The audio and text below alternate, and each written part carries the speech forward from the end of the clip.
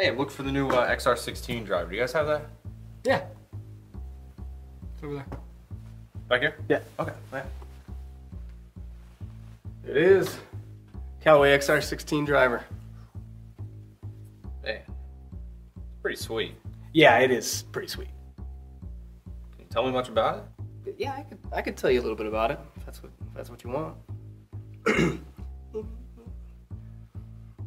The Callaway XR driver blows away the competition. You can change the loft and face angle when you turn the cog position. Stop that right now. Stop.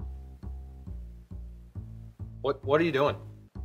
I was uh, rapping about the club's features and benefits. That was a rap? That was terrible. Excuse me? You need to not do that. Did you do that to all your customers? I don't know, most people like my golf raps.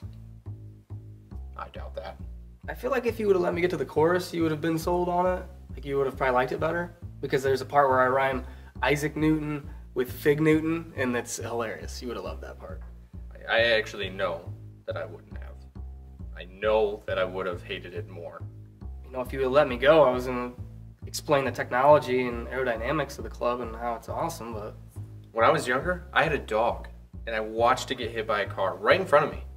I would rather live that moment again for eternity than listen to you rap about golf.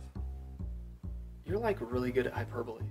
I know I am. Whew, I feel like you just broke up with me or something, but that's fine. You know, I appreciate the constructive criticism. I mean, not everybody's this honest with me when it comes to my golf rap because I feel like, you know, I rap and they're so blown away that they don't find the things wrong with it. But you you,